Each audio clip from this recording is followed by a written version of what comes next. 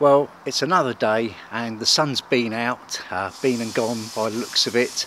I've just uh, put a coat of white and a coat of red on there, so that's had three coats now, that's absolutely done. As you can see, I've put gone in with a little bit of blacking in between, but I'll do that blacking properly when the red and white paints are nicely dry, I can mask them up and then really black it. I just wanted to get a bit on for now. So today I'm doing the third coat on the hull, third and final coat, but only the second coat on the sort of underneaths of the stern so I'll need tomorrow uh, to complete that but otherwise it's going great. I can't believe the weather. It's warm it's dry it's positively balmy so the stuff's going on a treat. And uh, well let's crack on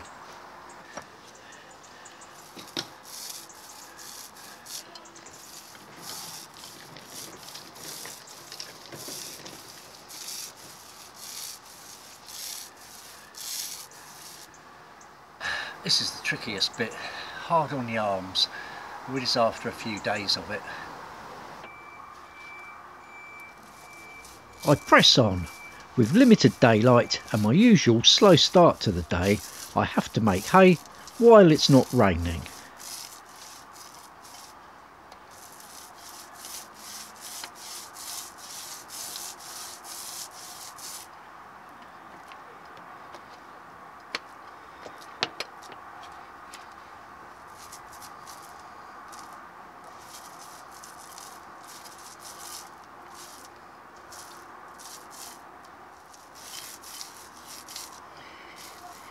It's a difficult angle to work at, but I'm still being as thorough as I can.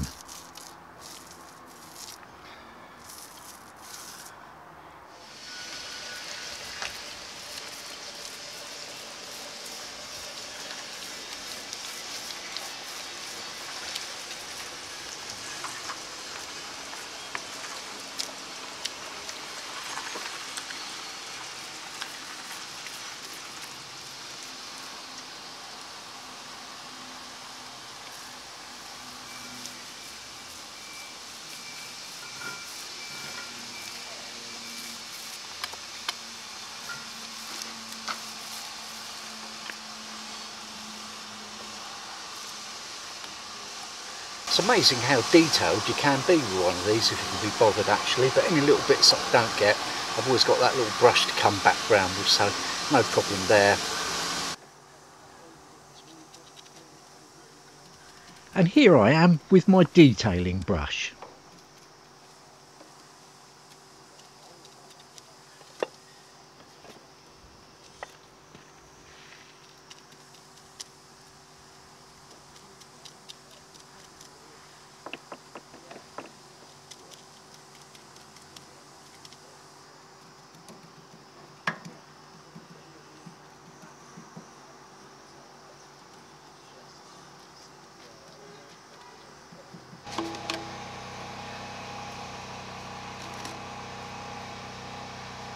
Yes, it's another almost impossible to open can.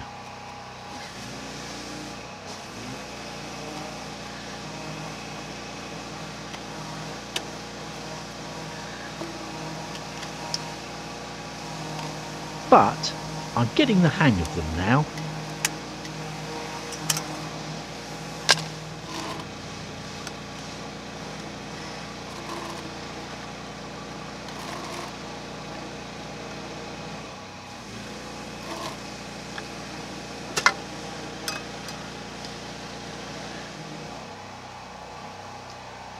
As usual, a good stir. This is the dregs from the previous tin.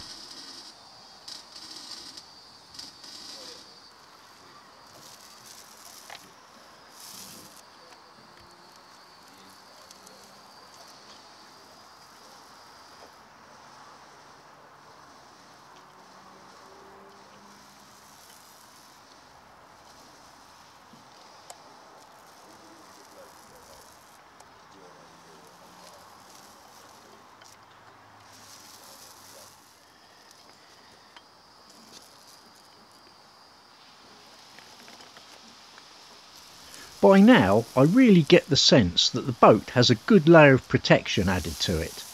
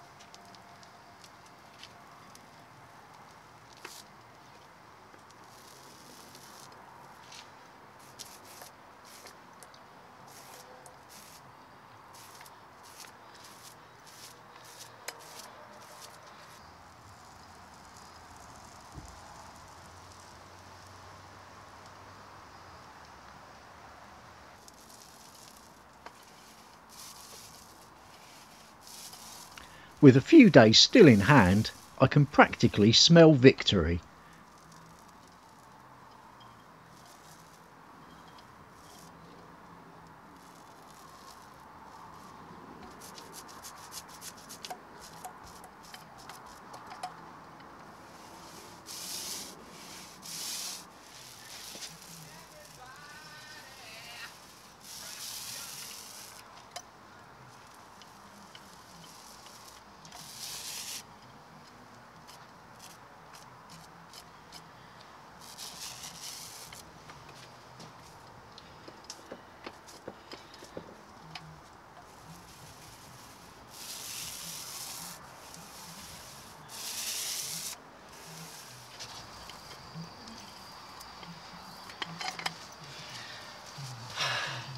And that's it. Three coats fully completed and in the best of weather as well so that makes me very happy.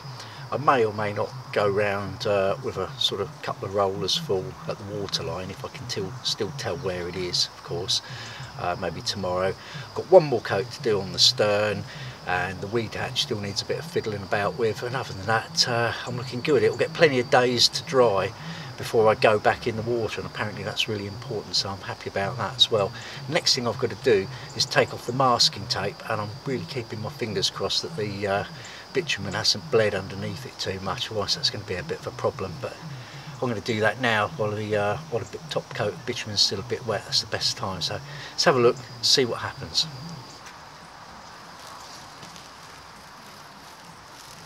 Chris. Well, you've certainly seen me peel back plenty of masking tape lately.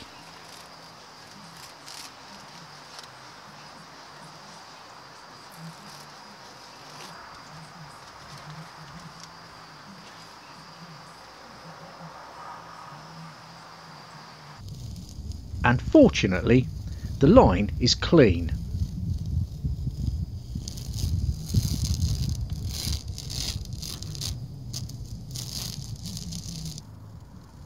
That'll be thanks to rubbing down the tape edge carefully.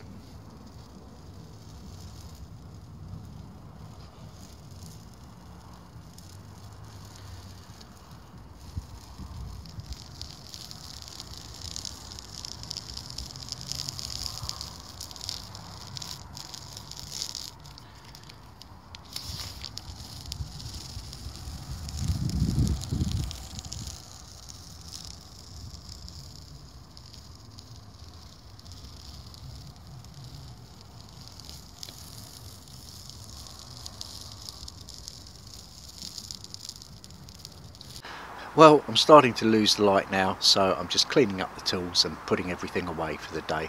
I'm very pleased with how today went.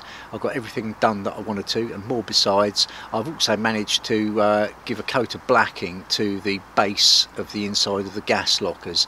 Uh, if you remember, I red oxide did them a few months ago and I'm quite happy with that, but the base where obviously the gas bottles get chucked in and out of, uh, you know, needs something a bit sort of extra tough on there so a couple of coats of blacking on that that'll keep that all nice and uh, dry and free from getting sort of uh, bashed around too much so that's great. And uh, I've still got a few little bits of finishing off to do obviously but I've got several days in hand. I mean obviously this has got to be done.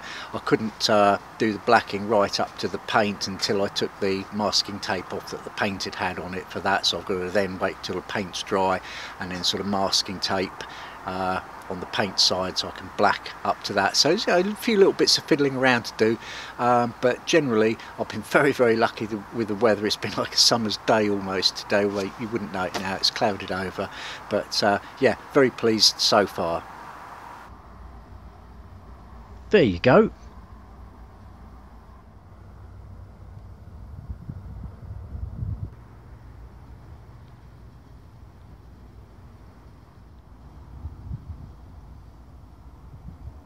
See you next time.